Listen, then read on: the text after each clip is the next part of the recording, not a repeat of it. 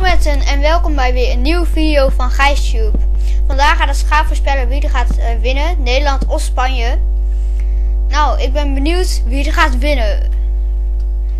Hij zou nu moeten gaan lopen, alleen dat doet hij niet. Dus we gaan hem even slaan, kijken of waar hij.